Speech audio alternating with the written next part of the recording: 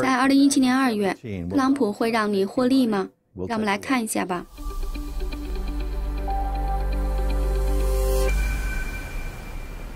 我们将会在本期的投资指南中尝试一些不一样的东西。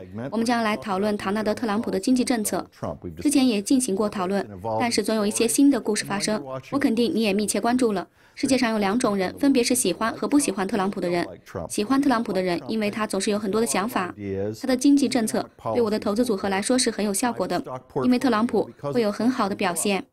还有一群人，他们非常的狂热，他们讨厌特朗普，这都不用我说，你可以在电视上看到他们，从报纸上了解他们的想法。他们不喜欢特朗普，就像他任命的官员一样。我们这里并不是政治秀节目，我们是投资指南，我们所谈论的是当前市场最适合您股票的投资组合是什么。无论你喜欢不喜欢特朗普，特朗普都是不可忽视的人物。他很重要，是美国的总统，他有任命内阁的权利，那里有很多的亿万富翁，这会给你的投资组合带来影响。当他在墨西哥边境建墙，等于关闭了重要的国际边界，这会影响贸易，还有其他的一些领域。所以问题是，特朗普能够作为你的投资顾问给你带来盈利吗？你可能不喜欢特朗普，但是你喜欢盈利。如果你可以从他的错误中学习，并觉得对你有用的话，或许对你的股票投资组合也是有好处的。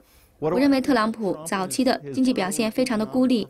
您需要记住的就是，他将会打破自由贸易。他是一个孤立主义者，是保护主义者，就像是十九世纪末期的美国总统威廉麦坚利提倡高关税一样。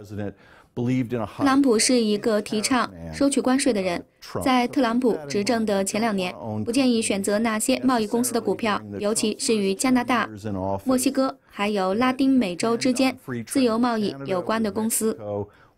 因为自由贸易将会被破坏，与中东之间的情况也是一样的。他非常的看重美国的边境保护，他同样也表达了与中东之间的边境关系。所以对于石油公司来说是的，他对大型石油公司十分的友好。同时，来自沙特还有很多其他中东国家的对美国出口石油的大型石油公司，不能像过去那样享受自由贸易了。特朗普正在为美国创造更多的就业机会，推进了 Keystone 管道建设，也确保了达科塔管道输油管线的建设。你可能不喜欢政治性的东西，我想说的是，这可能意味着美国市场天然气的价格将会降低。所以说，需要记住的就是，如果说你在特朗普时期购买能源公司的股票的话，价格可能会下跌，在他们有能力。将更多化石燃料供应到市场之后，总的来说，特朗普带来的上升还会继续。我认为会在达到一个时间点之后就停止。需要记住的就是，我们会经历一个长期的过程。如果你正在衡量应该买入还是卖出，我认为围绕着特朗普已经出现了泡沫，在政治和经济方面都存在泡沫。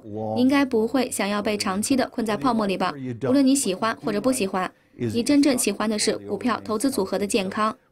所以，以一个开放的心态来接受事物，关掉电视，少看一点报纸上的标题，多看一些数字，不要只看头条新闻。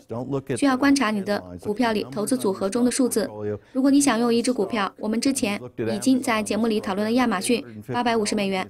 如果你认为我已经把资产翻了一倍，我做得很好了，也许我会坐在旁边一点的地方，这样没有人会破产，都会赚取一些利润。好的，以上就是本期投资指南的全部内容。我是你们的主持人杜高斯贝。电视的合作伙伴马修·斯蒂文森，记住，钱可以照顾你，但是他可不会照顾他自己。